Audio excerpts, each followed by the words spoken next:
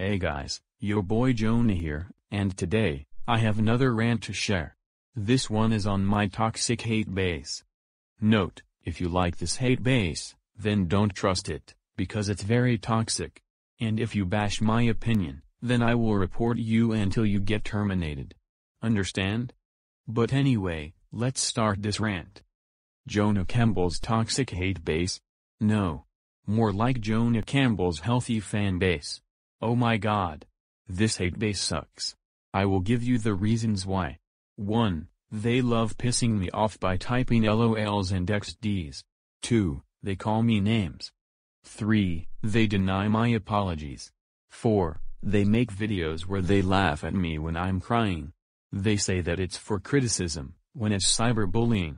5. They are hypocrites, because they say that they are not trolls, yet they type LOLs and XDs, call me names, and make me so furious to the point where my head explodes, which are all things that YouTube trolls do. 6. They use subbots. 7. They force me to stop doing the things that I enjoy doing. 8. They make rant videos out of me, and they have invalid reasons on why I suck. 9. They can't handle opinions to those who like me.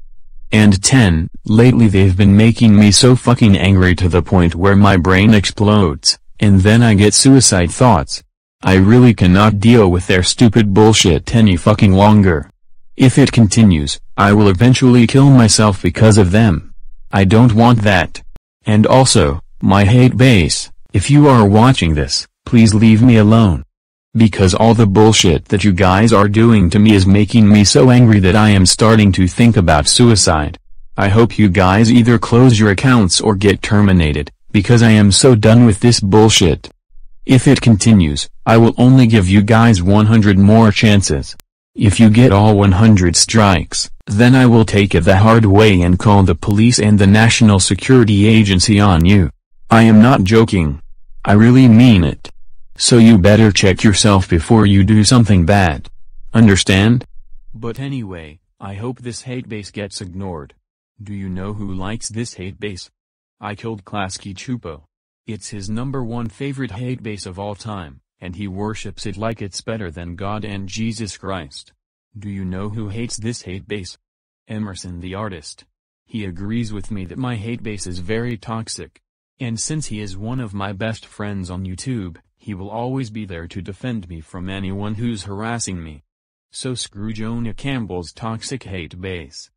And screw COVID-19.